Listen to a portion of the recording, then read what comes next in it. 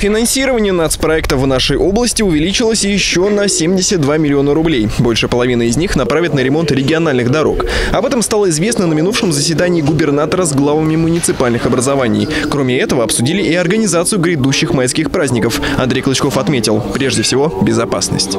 Коллеги, здесь внимание сейчас, особенно в преддверии 9 мая, усилить и все общественные и публичные мероприятия, которые проводятся под эгидой органов спецуправления органов государственной власти, должны проходить согласование с правоохранительным блоком. Мы еженедельно собираем с силовиками, обсуждаем все те риски, которые сегодня есть. Но э, прошу эту работу вести в постоянном режиме, тем более, что предстоит большой комплекс э, публичных мероприятий в ближайшее время.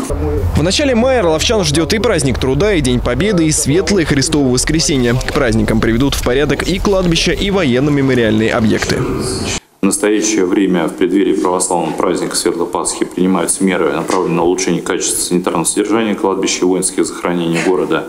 Ответственные специалисты муниципального заказчика совместно с МОПРО в ежедневном режиме проводят мониторинг территории кладбищ на предмет санитарного состояния и оперативно принимают меры по ликвидации стихийных свалок и отходов.